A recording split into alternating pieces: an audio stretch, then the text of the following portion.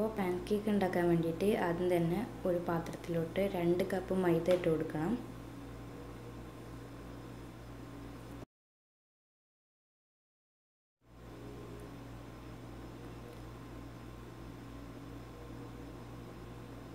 ഇനി ഇതിലേക്ക് ഒരു ടീസ്പൂൺ ബേക്കിംഗ് പൗഡർ ചേർത്ത് കൊടുക്കാം. എന്നിട്ട് ഇതുപോലെ ഒരു ഫോർക്ക് വെച്ചിട്ടോ അങ്ങനെ എന്തെങ്കിലും വെച്ചിട്ട് നന്നായിട്ടൊന്ന് മിക്സ് ചെയ്യാം.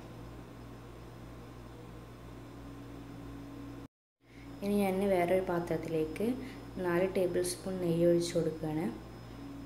നെയ്യിന് പകരം ബട്ടറോ അല്ലെങ്കിൽ ഓയിലോ ഒക്കെ ചേർക്കാം.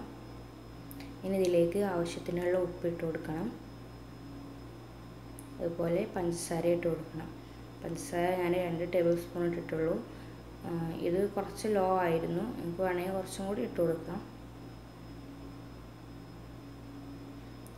ഇനി ഇതിലേക്ക് രണ്ട് മുട്ട ഇട്ട് കൊടുത്തിട്ടുണ്ട് എന്നിട്ട് നന്നായിട്ടൊന്ന് മിക്സ് ചെയ്യാം. ഒരുപാട് ബീറ്റ് ചെയ്യേണ്ട ആവശ്യമൊന്നുമില്ല. ജസ്റ്റ് ഒന്ന് മിക്സ് ആക്കിയാൽ മതി. ഇനി നമുക്ക് കുറച്ച് പാൽ ഒഴിച്ച് കൊടുക്കാം. പാൽ കുറച്ച് മാത്രമേ ഒഴിക്കാൻ പാടുള്ളൂ. ബാക്കി നമ്മൾ പിന്നെ നോക്കിയിട്ട് ചേർക്കുള്ളൂ എന്നിട്ട് ഇതിലേക്ക് വാനില എസൻസും കൂടി ചേർത്ത് നന്നായി മിക്സ് ചെയ്യാം.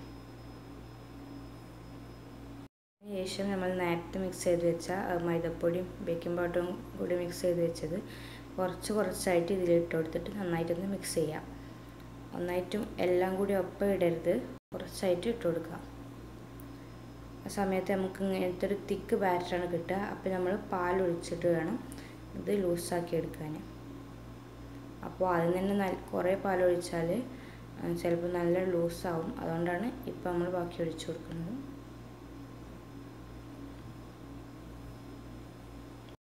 അപ്പോൾ ഈ ഒരു കൺസിസ്റ്റൻസിയാണ് നമുക്ക് വേണ്ടത്. ഇതാവുന്ന വരെ നമ്മൾ പാൽ വെച്ചുകൊണ്ട് മിക്സ് ചെയ്യണം. ഇനി ഞാനൊരു പാന് ചൂടാൻ വെച്ചിട്ടുണ്ട്. ഇത് ചൂടായി വരുന്ന സമയത്ത് വേണമെങ്കിൽ മാത്രം കുറച്ച് നെയ്യ് ഒഴിച്ചു കൊടുക്കാം. ഒരു മീഡിയം ടു ലോ ഫ്ലെയിമിൽ ഇട്ടിട്ട് വേണം ഇത് ഉണ്ടാക്കിയെടുക്കാൻ വേണ്ടിയിട്ട്.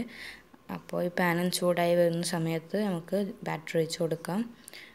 കുറച്ച് ഒഴിച്ചു കൊടുത്തിട്ട് ജസ്റ്റ് ഒന്ന് ചുറ്റിച്ചു കൊടുക്കുക.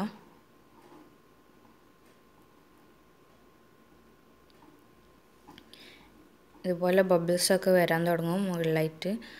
അങ്ങനെ ബോൾ ഫുള്ളായിട്ട് കളർ മാറിയ ശേഷം ഇതൊന്ന് മറിച്ചിട്ട് കൊടുക്കാം.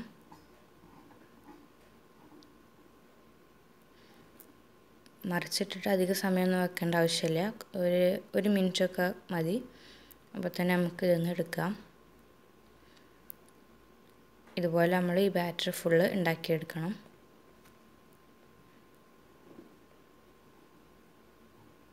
അപ്പോൾ ഞാൻ ബാറ്റർ ഫുള്ള് ഇതുപോലെ ഉണ്ടാക്കിയിട്ടുണ്ട്.